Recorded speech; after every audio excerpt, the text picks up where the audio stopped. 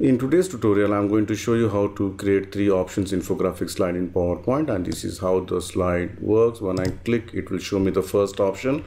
As you can see here, I've created a shape which looks like a kind of a call out shape where I've added kind of a geometric shape here. You can add the title and the detailed text. When I click, it will come with a different color combination that is a call out option 2 then the call out option 3 so depending on the requirement you can increase or decrease these options Please share, like and subscribe my channel and the only channel on YouTube for PowerPoint where you can get 1000 plus free templates absolutely free. And I have provided the link on the video description section of each video. And you can support my channel through PayPal or Patreon. So let's start the tutorial. Add a new slide and change the slide background to any light gray color background. Then go to insert shape, select the rectangle, draw a rectangle, maybe this much size shape outline. I'm going to make it no outline and shape fill. I'm going to fill this with white color. Or let me just give some different color and later on i can change this to white color. And then i'm going to insert one oval shape here. So go to the shapes. From the basic shape select the oval. Draw a oval shape something like this. You can see here. It should look like this. So for this let me just go to the right mouse click format shape. And i'm going to give a some transparent effect here. All right.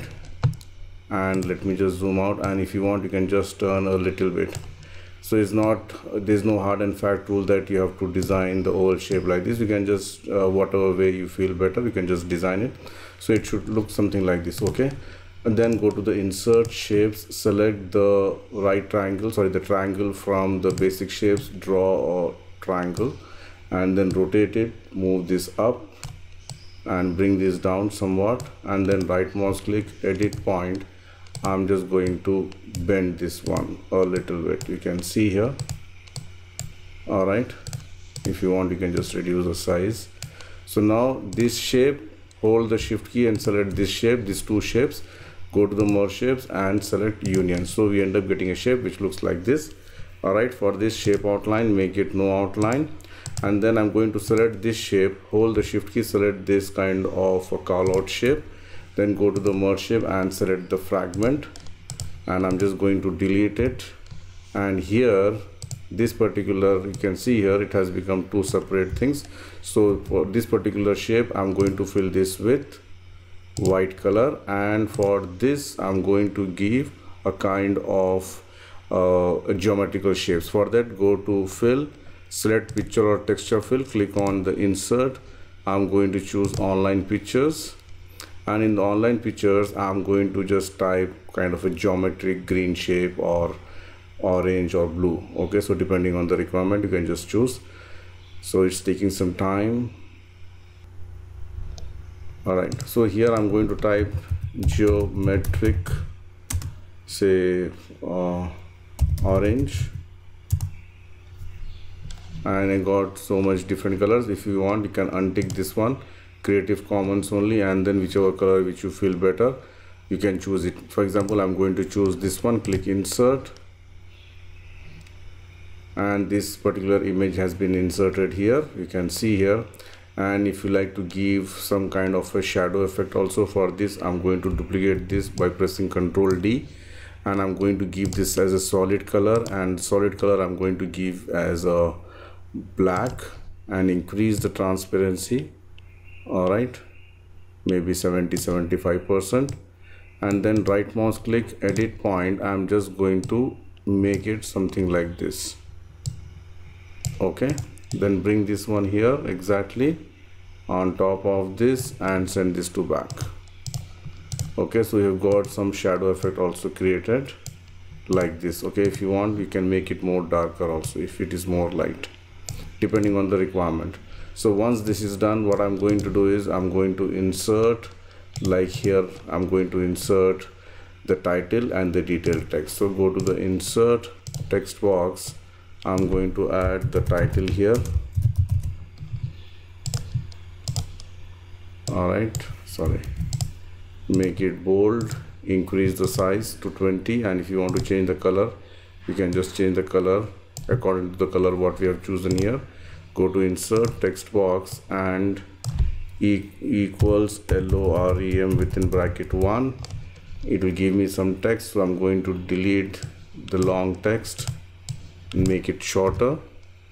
Then justify if you want you can reduce the size to 14 and i'm going to give some dark gray color. All right you can just put it here.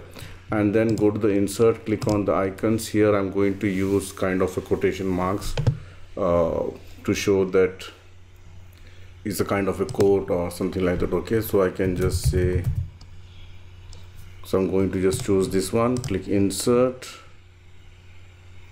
and I'm just going to place this one here one press ctrl D to duplicate move it to the down and you can rotate it. You can see here I can just flip vertical and then I'm going to make it flip horizontal. And you can just place this one here. If you want you can change the color to white as well so depending on the requirement.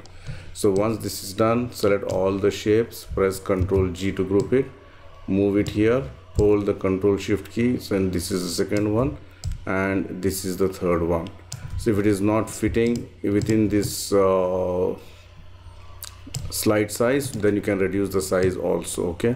So then it's very easy for me. I can just go and give some different uh, image here. So I'm going to the online pictures and here I'm going to type geometric uh, maybe green. So let me just type geometric green and I can just choose any green color from this or untick this one. And whichever color which suits your requirement you can just choose. Maybe I'm going to choose uh, this. Click insert.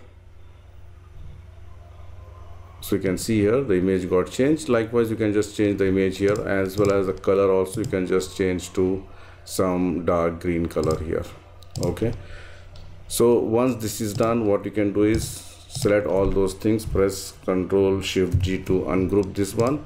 Now i'm going to group this this this and this text and even this also the small and press ctrl G to group it. So you can see here this is the group now all right? So now what I'm going to do is I can just do the animation. So here also let me just group this one. If you want you can group this with separately also. It's up to you. Press ctrl G you can see here like this also you can group it so let me just group this one. And here in this one I'm going to group this two including the shadow also okay? Include the shadow as well here. So in this case also I have to include the shadow this and this press ctrl G and here also control G alright? So now I'm going to select this and this go to the animations enable the animation pane. I'm going to select fly in. Fly in this one should come from top alright and this should come from bottom alright so this one should happen at same time.